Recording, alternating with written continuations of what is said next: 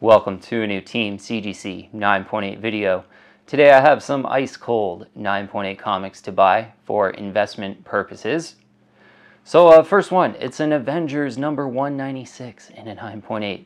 Yeah, I've recommended this one quite a bit in the last six or so months. I think the timing's pretty good for this one. Uh, certainly leading up into that Black Widow movie and then it was delayed because of the virus and uh, this one stayed really pretty hot during that period it was mostly like 1,700 up to 2,000, and even for a bit there in the direct editions, that they went over 2,000. There were quite a few that had sold over 2,000 in, in, the super high grade. So recent sale on Comic Link. This one ended about three weeks ago. I had saw for $1,100 in a 9.8 white pages. So cooling down. I just think this is one. If you like this one, it's a, it's pretty much a great time to buy it. For myself, you know, back in like 2018, 2019, I really wanted this one, but it just never happened. And then all the rumors started and it got really hot. So it wasn't like the best timing during that time. But we're on the other end of that. Much better pricing now. This one's a great collector item in the, the really high grade 9.8. There's 236 9.8s in a blue label. A 1 of 236 is great. 6.4%, the 9-8 ratio. So nice, like the single single digit 9.8 ratio. The lower, the better. Of all the graded copies sent to C CGC, uh, about 6% of them are 9.8s, which is awesome. So yeah, I think this is one. It's cooling down. If you ever wanted this book like me, I know I'm really kind of thinking about it and uh, have my eye on eBay and Comic Link. You know, on eBay right now, there's like people trying to get 1,500, 1,600, but you know, you want to be patient on this one. Get it in an auction closer to 1,100, I think is a pretty great deal. An equivalent kind of DC book you may want to consider uh, the Teen Titans number two, first appearance of Deathstroke, the Terminator, another George Perez book. Big first appearance on that one as well. And there were those uh, Deathstroke uh, like new comic books that had come out about three, four months ago. It kind of, this one kind of heated up, but I'm actually seeing some better prices. You know, nowadays, just like, you know, three or four months later, I think uh, Teen Titans number two and a nine eight kind of in the, you know, 900 to 1,000 range it, it is a pretty great uh, kind of DC equivalent book. These are pretty comparable. And uh, yeah, that Teen Titans 2 during those new comic books, I, I saw one sell for like 1,300 and was pretty surprised by that but they're kind of cooling down on the back end of uh, those Deathstroke new comic books that had come out. Okay, I'm moving on though. It's uh, next one, A Tale of the Teen Titans number 44. The uh, first appearance of Nightwing, or when Dick Grayson becomes Nightwing. So kind of the first appearance of the modern Nightwing as we all know him. And uh, this one, it kind of slowly and steadily has increased over time. Maybe just a bit of a cool down like most, you know, 9.8 key issues nowadays cooling down in the last uh, you know six to 12 months or so. Um, recent prices on this one in a 9.8, 557 US dollars, $519.99. So uh, I think this one's just a pretty great value at that price. And, and you know, one of those big kind of DC keys you want to consider in, in a 9.8. 1,065 9.8s in a blue label. 19.8% the 9.8 ratio, so decent on the census. And uh, yeah, this is one, you know, 2018, 2019. I remember them being, you know, 225 or so, 250 in that area. Maybe they were even a little bit less than that. So yeah, this one kind of slowly and steadily has been increasing over time, and for good reason. Uh, so you want to consider a, a, Tale of the Teen Titans 44 in a 9.8. Okay, uh, next one, uh, New Mutants 98 in a 9.8. One I do uh, luckily have First appearance of a big hero, Deadpool, and uh, an early 90s comic book. So, you know, maybe not the best collector item. If you're really serious about this one, you go after it in the newsstand edition. I got the direct edition, though. Newsstands get, they're pretty expensive nowadays. But uh, in a direct edition for a New Mutants 98, cooling down, you know, it was probably about a year ago. Yeah, maybe last summer. It was like, you know, uh, Deadpool 3 MCU is coming out, and the prices that kind of shot up on this one to over 2000 It only lasted about a month maybe off the back of those rumors, but uh, recent prices on a New Mutants 98 and a 98 white page is $1,701 and $1,600.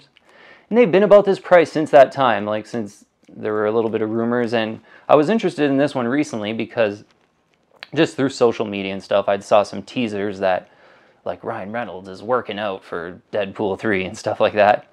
So I thought, oh, look, I want to check in on New Mutants 98, but it's really kind of staying at the same price, even off of these, you know, a little bit of whispers. Uh, so I just think uh, this it's been a steady price for quite a while. Big first appearance of a hero with some content coming out, with the movies coming out soon. Probably decent time to get in there on a New Mutants 98. 1,600 uh, is kind of near the lower end of the range. Is probably you know a price to aim for with there's there's so many of them out there in the 98 early 90s book as i said. 3840 9.8s in the blue label. 18.2% is the 9-8 ratio. So big hero first appearance and uh, certainly they'll probably be absolutely a pop in price after these deadpool movies. And um, you know, long term on a New Mutants 98 with it being an early 90s book, I, I sort of worry after, you know, maybe Ryan Reynolds stopped doing Deadpool movies or something like that. Will the uh, popularity for a book like this, you know, uh, continue? With there being 3,840 of them out there, there's a lot of supply. So, um, again, maybe that newsstand edition is a, a, more rare version that you might want to consider. I think that one will hang in there over time and, and be really wanted by collectors. Uh, but uh, yeah, almost can't go wrong on a, a, big first appearance of Deadpool. Okay, uh, next one. It's uh, Batman Harley Quinn we'll focus on. The uh, origin and first full appearance of Harley Quinn in uh, DC continuity on this one. But to be honest, just a little, noticing a little bit of weakness in all the Harley Quinn keys uh, and the Batman keys in general. We've talked about this on the channel recently, but even a Batman Adventures 12, seeing a better price on that one. But uh, Batman Harley Quinn in a 9.8 saw one sell for uh, $617.70. I'm pretty sure I saw one sell even a little bit under 600, which is a pretty considerable uh, pullback. Like leading into the Batman movie, kind of all Batman books were a little bit hotter during that time. The market overall, I think, was a little bit more, you know, hotter during that time as well. Uh, these were kind of 800 to 900, and I think one even kind of might have sold for a thousand there. But uh, you know, uh, uh, now starting to make a little more sense. I think around $617.70 one had sold for. I think that's a pretty decent buy. Uh, Batman Adventures 12 in a 9.8. Definitely the one to get if you're a big Harley Quinn fan. A little bit kind of too expensive for me. Uh, I've sort of went with this one in Mad Love but a Batman Adventures 12 saw? One sell in a 9.8 2605 and uh, usually they're yeah, they're kind of a little bit closer to 3000 this one looked pretty good as well. It was on a comic link about three weeks ago or so. Uh, 2605 for a batman adventures 12 um, if you're in the market for that one. But uh, batman harley quinn 1208 9.8 46% the 9.8 ratio. It is kind of one of those binded trade paperback kind of uh, comics, so uh, not too uh, tough to get in a super high grade with the 46% uh, 9.8 ratio. But one to think about, certainly if you're a Harley Quinn fan, on a, a cool down in price recently. And a last one here that's been cooling down to recommend, uh, maybe Spider-Man 316.